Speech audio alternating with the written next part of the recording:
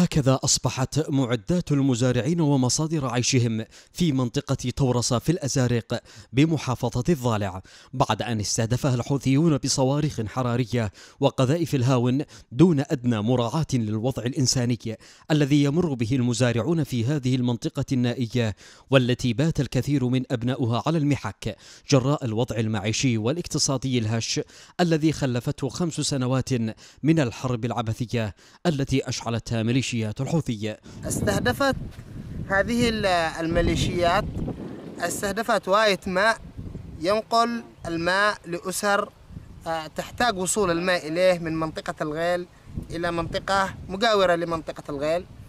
وبنفس الواقعة استهدفت حراثة تابعة لجمعية حورة الزراعية. واستهدف وقتل وراح ضحيتها ضحيتهم في الحراثة شهيد وجرحى. آه هذه هذه الميليشيات أهلكت الحرث والنسل. ميليشيات لا تؤمن إلا بالقتل لا تؤمن إلا بالتعزير لا تؤمن إلا إلا ب ب ب ضد حياة الإنسان وما يؤهل لحياة الإنسان. صهريج الماء أيضا الذي يعد شريان حياة بالنسبة لسكان القرى استهدفته الميليشيات بصاروخ حراري لتقطع بذلك عن السكان كل سبل العيش ضمن سياستها القمعية في تجويع وترهيب اليمنيين.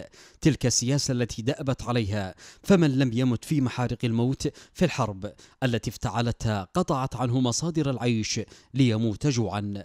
استهدفها الحوثي بصاروخ حراري في حبيل السنبلي توصى وهي تابعة للجمعية التعاونية الزراعية. حول الغنية والمناطق المجاورة لها ما حدث للمعدات الزراعية وصهريج المياه في طورسة نموذج لواقع الجرائم والانتهاكات الحوثية التي لا تتوقف في مديرية الأزارق وغيرها من المناطق التي يطالها بطش الميليشيات التي تحاول إذلال المواطنين وتجويعهم بهدف الضغط عليهم وإلحاقهم إلى دوراتها الطائفية والدفع بهم لتعزيز جبهاتها المنهارة والحرب التي أكلت الأخضر واليابس.